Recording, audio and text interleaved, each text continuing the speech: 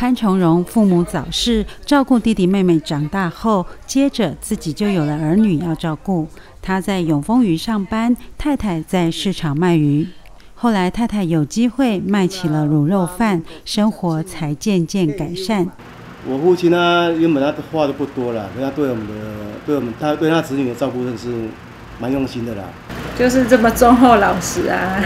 哎，那我是很荣幸能够嫁到这个家庭。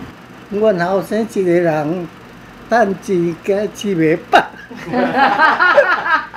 两位女儿成长后接续卖卤肉饭的事业，儿子则在警戒服务。